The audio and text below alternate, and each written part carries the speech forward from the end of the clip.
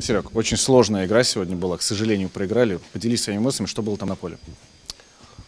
Ну, эмоции, конечно, отрицательные. На поле было битва двух команд. Уфе, можно сказать, больше чуть повезло. Без особых моментов они смогли добыть очень важные для них три очка. Вот. Для, для нас они не менее важные были. Но, к сожалению, мы не создали так много моментов, как обычно создаем. Потому что это заслуга соперников. В первую очередь, э, грамотно выстроенная оборона. Очень тяжело было залезть э, в центр поля. Поэтому преимущественно были подачи с флангов.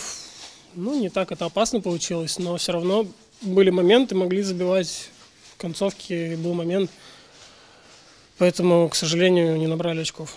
А, мы снова пропускаем достаточно быстрый гол. Это какая-то психология или что происходит с командой? Почему так рано пропускаем? Да это просто штрафной, на котором э, не разобрались подачу, первый рикошет и замыкание дальней штанги.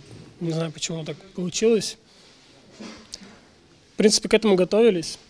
Вот. Но это индивидуальные, я думаю, моменты. Впереди у команды очень сложный график, у нас сейчас еще есть дисквалификации, появились травмы. А как команда будет с этим справляться? Есть ли ресурсы? Да, ресурсы есть, у нас достаточно квалифицированных игроков в любой момент, которые могут выйти. Поэтому, я думаю, с этим проблем не будет.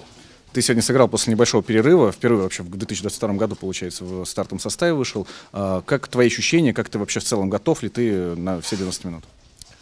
Ну, конечно, каждый игрок готовится в любом случае, независимо от того, играет он или нет на постоянной основе. Поэтому, да нет, нормально на сборах играл. В принципе, игровой тонус, можно сказать, есть чуть. Сейчас впереди плотный график, э, команда сразу вылетает, еще и автобусы. Это скажется или вы как бы готовитесь в любом случае нормально, серьезно? Да это издержки профессии, можно сказать, перелеты, постоянные переезды, поэтому к этому уже все привыкли. В ФНЛ летали и в Хабаровск, и ничего страшного. Спасибо, Сереж, до следующего матча.